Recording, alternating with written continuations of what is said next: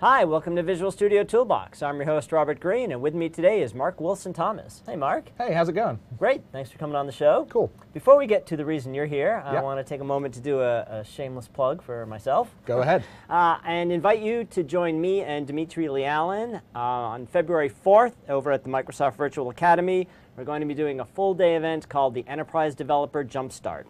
Enterprise Developer Camp Jumpstart, literally. And what we're going to do that day is we're going to show people how to modernize existing .NET line of business applications. Oh, awesome. So the idea is that you're, uh, we're going to start with a WPF app. It's an expense report app. It's a WPF app. It, it works internally. It's great. Now the question is, you know, Microsoft's uh, all about devices and services, and I hear a lot about Azure and you know Windows 8 and Windows Phone. What does this mean to me? Right. So what we do is we look at that app, and first we're going to look at services architecture. We're going to review some best practices for that. Then we're going to move the app to the cloud. And you guys will be pleasantly surprised if you don't already know this already, how easy that is and how straightforward it is to take that app and move it to the cloud. Um, then we will look at some tools you can use to make your WPF apps look more modern. Um, we actually uh, will show some pretty cool stuff there. And then we'll finish off the day by building Windows 8 and Windows Phone apps that work with the exact same data. So you'll start off with an internal WPF app, and then you'll end the day with a cloud-enabled WPF app as well as um, Windows Store and Windows Phone apps. Um, and that's basically devices and services if you think about it. People are going to want to get registered for that soon, eh? yep. So registration's live, aka.ms forward slash entdevcmp, E-N-T D-E-V-C-M-P. Um, to register for that, we hope to see you there. Okay, so that's the shameless plug. Shameless plug And with that, Mark's here to show us a new extension called the Auto History extension. That's right, the So Auto tell History extension. What is that?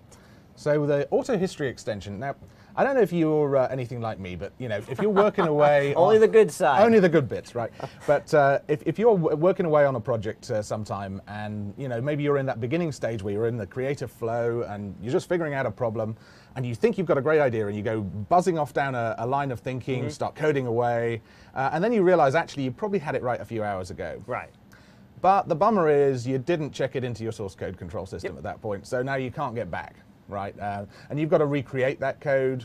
It's a You bit can, you can undo. you can undo, but you can only undo so far, yeah, right? and it's not going uh, to get you very far. Not going to get you all the way, and maybe you did some refactoring, and uh, you Mm-hmm. know, there's there's a bunch of work you did, and you you now have a bunch of things to recreate. Well, Right. what auto history does is it kind of steps into the gap between source code control and the undo stack, right? That's Mm-hmm. that's really where it operates.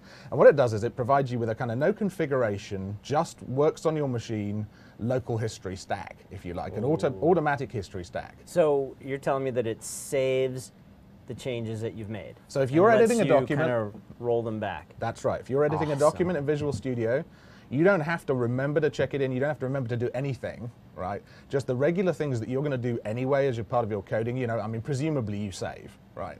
Um, Yeah. And occasionally you're going to compile, so that's going to require Well, a happily when too. you build it, it Right, when you build, saves. it's going to automatically Right. save. There are a bunch of events that that happen that will cause this thing to take what we call a snapshot. Okay, and that snapshot will be kept on your local machine, um, and actually we keep it for like three days, Oh. uh, um, uh, so that you can get back. And this is a, a preview extension, so any any numbers you hear me throw out there, like three days, things Uh-huh. like that.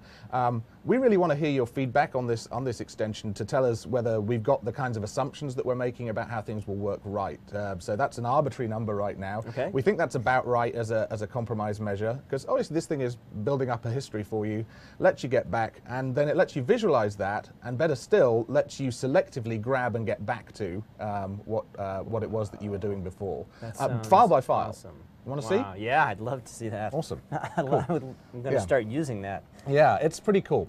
So uh, And I, and if you're, I may not be like you if that only happens to you at the beginning of the project because it Oh, essentially happens to me like every day. Uh, yeah, pretty much. That's right. So uh, here's the new extension here. So you're seeing it right here on the uh, right-hand side of our screen here. It's Auto History. It'll be available on the Visual Studio Gallery, and there'll be a link on the uh, Visual Studio blog page, and I think we'll put a link up on the page that this video will be on Yep. as well. Uh, that'll let you install it right from the Visual Studio Gallery. Once you've installed it, and I'll just take it away for a moment, it will appear on this menu. So it's View, Other Windows, and then you'll see auto history right there with the little picture of the camera next to it. And it's 2013. That's correct. So it'll Okay. run happily on top of the latest VS. Excellent. Right? Um, and you see what's uh, happening here is the auto history window is coming up and it's showing me in this left hand panel Mm-hmm. a list of the snapshots. You know, I mentioned the snapshots earlier. These are each one of those little tick marks. You can see there are events that have happened in this particular solution that I've got. So here are a bunch of auto saves, and here is an open event. Here's a save event, and they're all time stamped, right? Okay. So I can slide myself. And this window here is like a slider. So you see there's that uh, shaded window here between now and that tick mark? Yep. What that's telling me is that this right hand pane is going to be showing me all the things that changed between Okay. then Ah. and then. Cool. Okay. So I can see that my program.cs file changed between here and like yesterday when I, Right. I'm pretty certain that that's when my good code was in place. Um, and so what I can do is click here on the program.cs file that I know has changed. And if I want to see what changed, I double click, and lo and behold, I got me a good old There's standard the usual file compare. That file we know and compare window. Yep. So I can see that this is what I had yesterday, and here's my working code. Mm-hmm. Okay. I can just grab a hold of that. I can save it anywhere I like. Okay. So if I want to grab just even one line of code, because you know it might be that I was partially right, Right. or that I've just forgotten one line of code that I had working back there. Mm-hmm. We don't know the granularity you're going to want to restore at. So a diff window gives you ultimate flexibility Sure. here. You can just grab whatever you like and uh, paste it into the, the code file that you Yeah. need uh, and, and carry on on your merry way and hopefully be working. Well, it could be anything. It could be uh, a line of code. It could be a call to one method uh, that you change. It could be an entire method that Right. you added. I mean, I'm showing a one-liner here that for- you it's- it's deleted, kind of but really need back. I mean, Yeah. So it it will it will take a snapshot of the entire project, So yes, exactly. In fact, it takes it. It's actually or just the just, just the, the files that in, you've edited. So that you've edited. Yeah. Okay. So if you if you've been working in in those files and, Mm-hmm. and they've been open in Visual Studio and you've been editing them, then we'll take a snapshot of those files. So if it if it changed as a result of your work there, then you'll you'll have that recorded. Cool. So it's basically about keeping your code, right. um, which is is pretty much what you want, right? That's Yeah. where all your thought gets embedded into the into Mm-hmm. the program is in the code.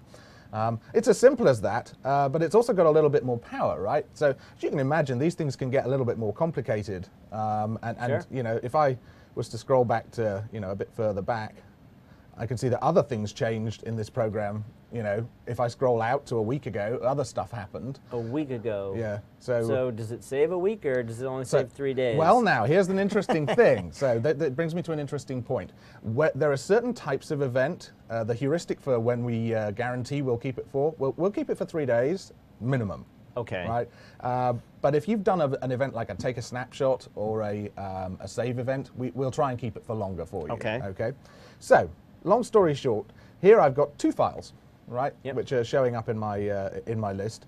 Um, but it might be that that could be in a, a real world project. That could be dozens of files, right? Sure. And, and I might actually only be interested in in one particular file. So I've got a couple ways that I can filter that down. So I can use snapshot filtering and say, actually, I'm only interested in the current file that I have open, okay? Okay. Or I'm only interested in files in my solution, or I'm only interested, or I'm actually wanting to broaden this and see all files I've edited on this machine. So that's beyond just the solution. So I might have been working in another program Mm-hmm. yesterday that's in a, a completely different solution. I might want to see changes in those files as well because I know I was working on that file over on that other solution and I could do with grabbing that. So it's kind of a, Right. an interesting way of moving sideways in that in that respect as well. Uh, and I can also filter down uh, using a pattern to filter the snapshots. So I can say actually here I can just you know filter down that uh, that list. Mm-hmm. Okay. Um, so I've got lots of ways of, of, of filtering down, um, and I can force a snapshot to get taken at any time as well. so if, if Ah. I've reached a moment where you know I've just got that reflex, it's a bit like the save reflex. We think it, people might find it useful to be able to take a snapshot. So can you, at the point where you know you're going to take a snapshot, can you name it and add comments to Yes, it? that's right. That's right. So you can actually um, these boxes here allow you to. w- These are the automatic names that we've put on there based Okay. on the events. So if you pick one of those, you can rename it to anything you like. Okay, can you re? So can you rename them if they've already been taken? Oh, yeah. Although you do, you won't necessarily know when it was taken. Oh, you will because it'll always have a timestamp right there.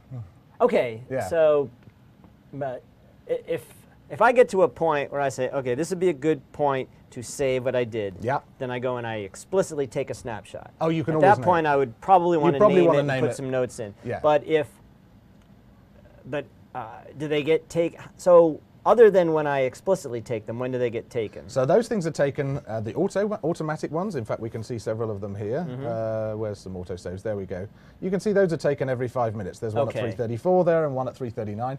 We just do that because you know if you've got a Right. file open and you're working on it, chances are um, you know you- you're going to want to keep that that history yeah. around. So those I might not go back and name and put And notes that's one on of the because reasons- at a random point five minutes ago a snapshot You've got no taken, idea what it is- means, but it might Right. be useful to you. It's it's Right. extremely useful um, to be able to go back and look at that code. Right. Um, but I wouldn't necessarily give it a name. Amen. That's right. But the take us when I decide this would be a good point, I could check the code in. yeah. This is obviously not a replacement for source control. Absolutely not, and I want to make that very, very clear to people. This is not a replacement for source Right. control. This this is simply something that stands in the gap between you and when you last checked Right. in.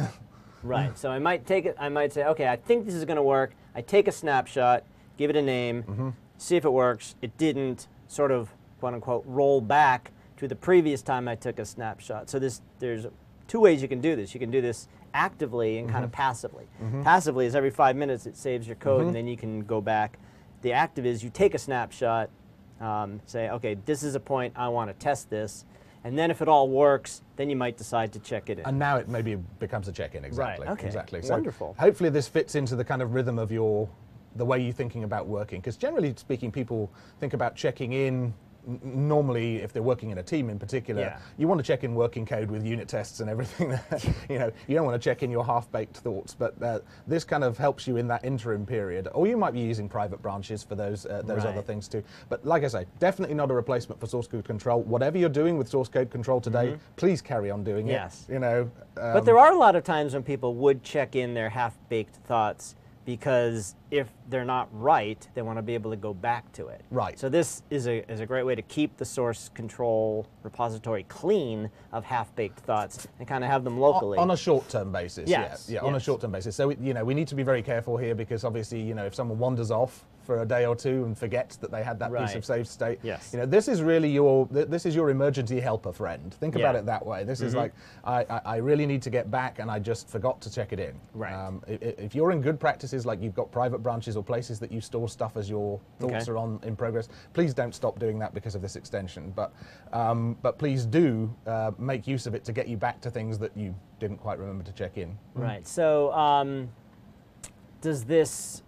So, is there the ability to to have it change your code back, or does it just show you? It ju- at this point in time, we're just Okay. showing a diff. Now, we are interested to hear about what kinds of rollback features people are interested Right, in okay. seeing. Now, obviously, there are a bunch of rollback features in source code control products Yes. today that we can model ourselves after. Yep. We, we, we might well go down that road, but we want to hear from people what would be most useful to you in terms of that surgical rollback. Right. Because we imagine that it's going to be things like I, I have a few lines that I want to get back to. It might not be the whole deal, right? Yep. Um, and uh, oh, here's my, my beautiful home county of North Yorkshire there. So uh, the, uh, let's just get people back on screen. Ah. Never type passwords on video live. That's right. There we Okay. go. Okay. Okay, so when I say rollback, it's really more of a manual It's, thing. it's a manual rollback would- today, yes. but we are thinking that Okay. you know in the future we will probably want to add more automatic rollbacks. We're interested to hear from people Mm-hmm. what, what those would be. Um, and so you know in terms of responses, obviously there can be responses to this video on the Channel 9 Sure. site, Mhm. but also we're going to have a page up on the on the VS blog site where we'd love to receive your feedback there as well. Um, and will you be taking feedback on UserVoice? Oh gosh, I mean we'll find all channels to take Yes, uh, okay. you know, anywhere people care to comment, but the, Right. the key places we're asking for is uh, on C9 and on the uh, on the blog post here at this point. But uh, we'll open any channels people want to talk to us on. Um, do these sync across multiple copies of Visual Studio? No, If not at this time. No. Okay, no. so if I do something at work and then go home, Yeah, no, this is local machine only Okay. right now. Although you know, let, uh, once again, if people Yeah. are interested and think that's an important scenario, we'd like to hear about it. yeah, Uh, that's, that's kind of. It's an interesting one that because I guess with the private, it, it's probably you're probably best going the the private branch, check it into source code, Right, bring right. it down, and then you'd have local history on Right, that and, machine. and, and If there are obviously concerns Yeah. when companies have, you know, uh, policies regarding Mm-hmm. uh, keeping their code private on their put on their networks and so forth. That, uh, Right. we, we don't necessarily want to accidentally bleed code across. Um, so we'd have to think carefully about a feature like Sure. that. But if it's going to be useful to people, let's let's hear from folks. Hmm, Okay, Yeah. cool. So this is uh, people can go get this in the Visual Studio Gallery. That's correct. Yep. uh, download it, try it out, Yep. uh, let you guys know. Yeah, let us know what, what you think, like. and and this is this is something that we we we- we're thinking we probably want to take further uh, in future releases of the product. Hmm. Oh, absolutely, uh, absolutely. Cool. Uh, you could you could see this becoming a feature of the product. It'll be interesting to see how many things people think of that you you haven't already figured out. Yeah, absolutely, and and th- that's always the case. That's one of the reasons Yeah. we love our users because they always think of stuff we haven't thought of, and Yep. uh, that's why we're putting this out as an early preview. So Cool. Look forward to hearing the feedback. This is awesome. I'm gonna I'm gonna start using this immediately. awesome, awesome. All right, so go get it. Visual Studio Gallery, check it out. Let us know what you think. Thanks for coming on, Thanks, Robert. and we'll see you next time on Visual Studio Toolbox. Cheers.